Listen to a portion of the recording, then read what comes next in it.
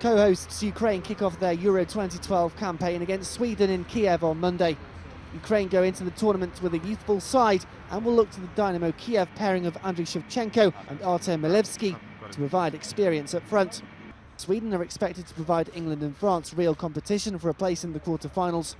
Their hopes firmly placed on the shoulders of Zlatan Ibrahimovic, but the Milan striker says he thrives on the responsibility.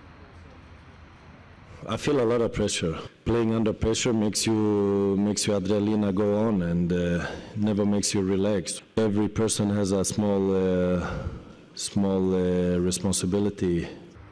Head coach Erik Hamrén has a full squad to choose from.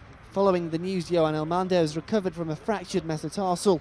Hamrin says he's done some homework on Ukraine and his side won't be caught off guard by the co-hosts.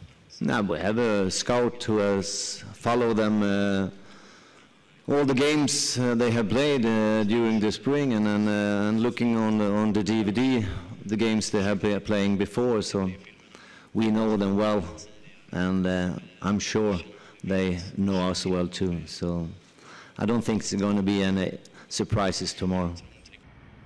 Both sides will be looking to get off the mark early as ties against England and France await.